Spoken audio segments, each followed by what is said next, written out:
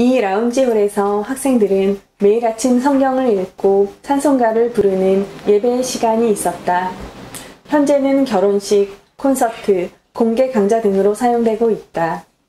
현관에서 홀까지의 입구에는 천장이 낮게 설치되어 있다. 이 방에 들어간 사람은 자연스레 창문 근처의 넓고 밝은 공간에 기대감을 가지게 되고 천장의 높은 공간에 다다르면 개방감을 느끼게 된다. 자유학원 명일관을 상징하는 창문이 인상적이다.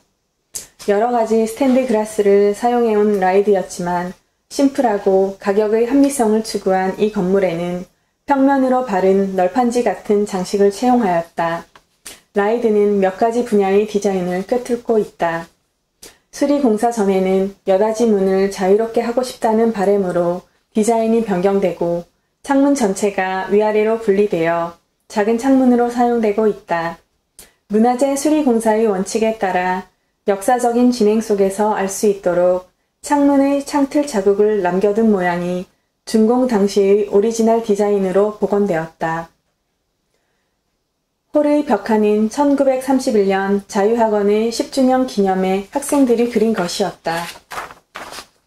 소재가 된 것은 구약 성경 출애굽기 9절 주는 우리보다 먼저 앞서가 낮에는 구름 기둥으로 인도하시고 밤에는 불 기둥으로 비추어 주셨다는 성구가 위에 헬라어로 적혀져 있고 이것이 자유학원 교가의 한 절이 되었다.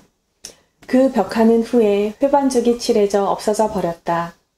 어쩌면 전쟁 중에 그리스도교를 소재로 한 것을 염려했다고 알려져 있으나 이유는 확실하지 않다. 보존 수리 공사 때 나온 이 벽화는 당시의 자유학원 학생들에 의해 원래대로 복구되었다.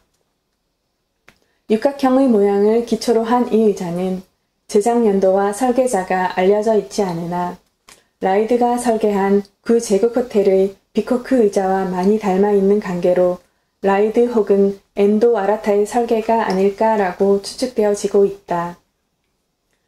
홀과 식당 벽면의 뒷부분을 마주대고 있는 난로가 만들어져 있다.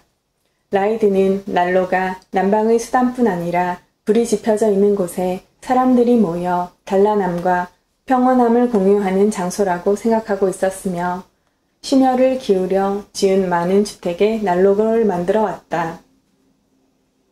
라이드가 제국 호텔 공사에 채택한 도치기현에서 생산된 오야 이시라는 돌은 일본에서 라이드의 대명사적 소재이다. 이 돌의 거친 질감을 살려서 견고하게 만든 이 난로는 이번 수리 공사에서도 일절 손을 댈 필요가 없었다. 이후 이 목재 중요 문화재를 위해 관내에서 불을 사용할 수 없는 관계로 난로를 사용할 기회가 없었다.